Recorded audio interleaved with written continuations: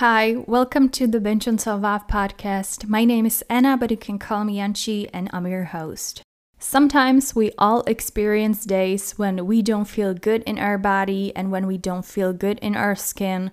And these are days when we don't necessarily feel confident or like we're good enough. Sometimes I have days when I feel like shit just overall. Everything I touch, I screw up. I feel stupid, I feel ugly, I feel useless, I feel like an idiot. And then there are days when I feel like shit because of my appearance or because I don't feel good in my body. Those are days when I feel like nothing I wear looks good on me. I feel like I have the ugliest makeup and the ugliest hair in this world. And on those days, I wonder why don't I look as perfect as other people? I think it's pretty normal to have these days to some extent, as long as they don't occur too often. I personally sometimes go weeks without feeling shitty about myself. Other times, I feel like that a couple of days in a row. I think it's really individual, but I believe it happens to most of us sometimes. But over the years, I've built some tools in my personal toolbox for those days when I don't feel good in my own skin. And because it's something that many people deal with, I thought I would share a few things that I'm applying when I feel negative about my body.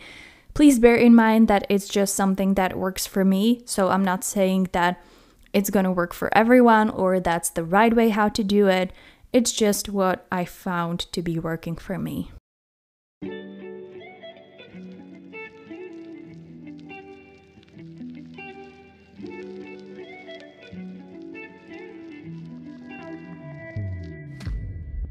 Hi there, my name is Anna, but you can call me Anci, and I'm a host of the Binge on Self Love podcast.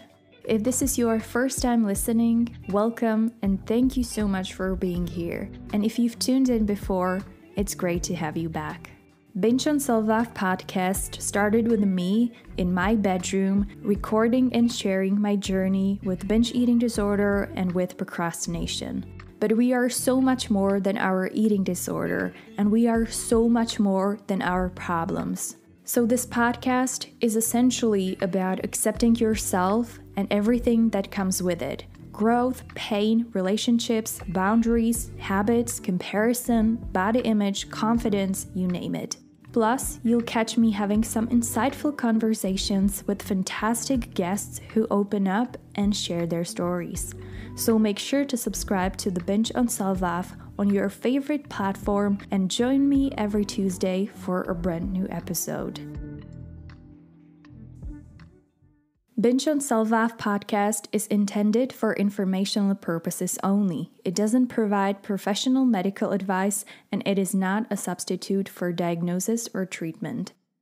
Think number one is that I don't try to fight those feelings. I found it helpful not to fight those negative feelings that I have towards myself or my body, which may sound counterintuitive, but for me personally, I feel like trying to fight those negative feelings make me feel even worse. It may not be like that for you, but it is definitely like that for me. But the important thing here is that I don't try to fight those feelings, but I don't pick at them either. I don't ruminate on them, I don't dwell in them, I try not to really listen to them. And I simply kind of let them be and try not to pay too much attention to them, which is obviously easier said than done. But I think that over time I got better at that. Dwelling on those feelings is not helpful in any way because I've learned over time that there's often no particular reason for why I feel shitty about my body or about myself. Sometimes it can be because I'm about to start my period, Sometimes it's when I want to wear something that emphasizes my shape or my curves, but most of the times there's no real reason at all. So I don't want to put that much energy into those feelings. I try to let them pass. I try to remind myself that these feelings are just temporary and I know they will pass and I know they don't mean anything.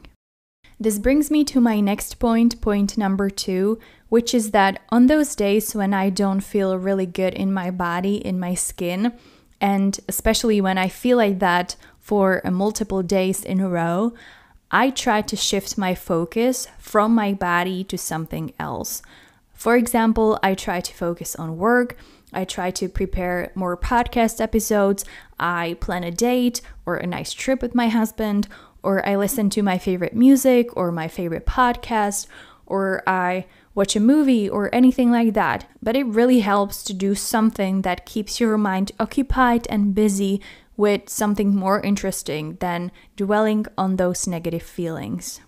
Another important thing that I do is that on those days when I don't feel good in my body, I want to make myself feel as comfortable in my body as I possibly can. So I make sure to wear something that I feel comfortable in. I don't care whether my outfit is stylish or pretty or anything like that, as long as I feel comfortable in it. It's also a reason why, on those days when I don't really feel comfortable in my skin, I don't wear anything new or anything that I've never really worn before just because I really want to feel comfortable. And I know if I wore something new, I would feel really self conscious and I would not be sure if I feel good in it or not. And I don't want to feel any more self conscious on those days.